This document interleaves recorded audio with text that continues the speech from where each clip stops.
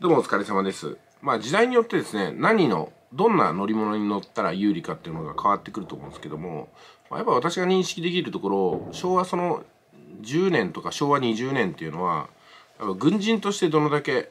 出世するかっていうところが自分の人生に大きく関わったんじゃないかなと思うんですよ。うん、やっぱりこう歌手官からあまあ召喚とかね左官とかに上がっていくと家族に対する恩給もでかかったわけですしねやっぱ軍人として国を守るこの位が高ければ高いほど尊重されていたってところもあるのかなと思うわけなんですよ。まあそれがね一部ちょっと間違った方向に行っちゃったところもあったわけですけども大筋では私やっぱり富国強兵って間違えてなかったと思うんですよ。やっぱりこう国を守るっていうかねあの、まあ、日本に手出したら本当危ねえぞ徹底的に戦ってくるぞっていうふうに昭和20年まで思わしたからこそそっから大して武力もないようなね戦闘力もないような日本がこんなちっちゃい国がですね世界から一目置かれて世界中で戦争の火種が絶えたことはなかったんですけどもなぜか日本だけはそのずっとね独立を守ってこれたんではないかなと思うんですよ。やっぱりね天皇陛下を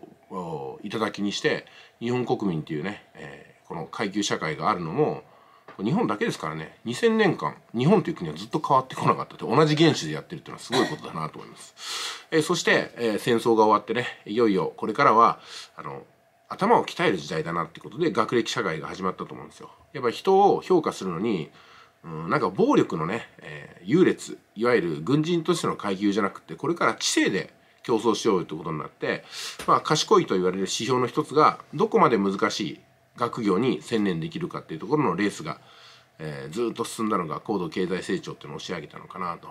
やっぱりこう賢くなければね詐欺にも合うし、えー、やっぱこう学校に行ったら有利だよとかね、えー、高校を卒業して大学に行ったら有利だよってことが中学の頃に理解できるような頭脳を持った人だけが、まあ、大学に進むってことで一定の成功を収めたんじゃないかなと思うんですよ。逆に言うとその時代に大学に行くメリットに感じられなかった人っていうのはあとね他のコースがいいと勘違いした人ってすごく悲惨な人生を送ってたんじゃないかなと思うんですよ。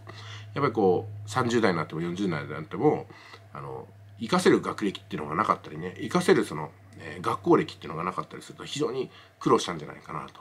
うん、でもまあ学歴がなくてもなんかスポーツっていうね逃げ道があったんでスポーツ推薦でうまいこと言った方っていうのはやっぱその道で、えー、一世を風靡することもできたのかな要するにこの学校の箔っていうのも学業でパッとしなくてもスポーツっていうのは強いですよって言ったらそれがねやっぱり、えー、マーケットでものすごく魅力だったわけですよね。それはなんか一部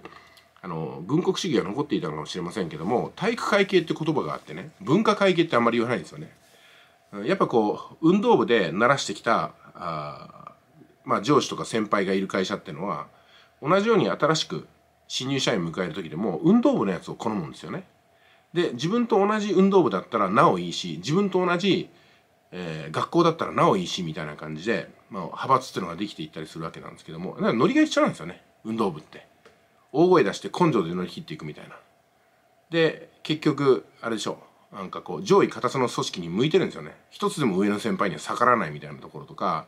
あの先輩よりも30分1時間早く準備して先輩が上手にあの終われるようにサポートしてよいしょもするみたいなね飲み会行ったら真っ先に飲んでくれるみたいな感じであの上を立ててくれるっていうところで非常に扱いやすいのが体育会系だったんですかね。で文化会系っていうのはそういう根性がないから理屈でこねこねネチネチやってきて本当扱いにくくって嫌われてたんですけどもだんだんその文化会系がね 今度は地位を占めるようになってくるとどうも体育会系のノリはどうですかねみたいな流れになってきてまあだんだんとこうつっぺになってきたのかなってとこですよね。はい、それでまああの学歴社会も今随分と時代遅れになりつつあるのはあの学歴がなくてもね稼げてしまえばいいということになってきてまさに経済優先の社会になってきたわけですよね。こうやって武力から武力というか暴力から学歴という箔になってきて今度は実質的にお金を経済を動かせるかどうかっていうふうな知恵の時代になってきてるのかなと思うんではっきり言って高校とか大学に行くことを考えるよりも早くお金を稼ぐかもしくは親が莫大な資産を築いてそれを子供にあげたらもう競争にさらされずに済むんでそっちが正解かなっていうふうに思うんですよ。でこの発想にたどり着く人がまずはスタートラインに立てるのかなと思っていまだにね進学に悩んだりとかね学校どこに入れようかとかってね大して悩んでもしょうがないようなことで悩んだりとかっていうのはまあまあちょっと本当にこれから大丈夫かなと思いますね。まあそんなの IT に長けてる方がいいに決まってるわけですよね。うん、やっぱこう40とか50になってもねなんかその SNS の使い方が下手だったら若い子はついてきてくれないわけですよ。それこそ TikTok やってあなんかこう有名になってねで50代でも60代でも人気の TikToker だったら全然支持されるんでそれがなんかおぼつかない手つきで TikTok やってるからなんかおっさんが無理すんなよとかになるわけですよね。まあその辺は結構ね、まあ、痛い人とイケてる人と分かれてくるんですけども 結局はこの世の中の基盤を動かしてるのは相変わらずおじさん世代なんですよ残念ながら。イケてる50代とか60代だけ世の中を動かしてるのは全く変わんなくって、うん、そこにねあの尾ひれをつけてる若い世代がいるかなってところなんで、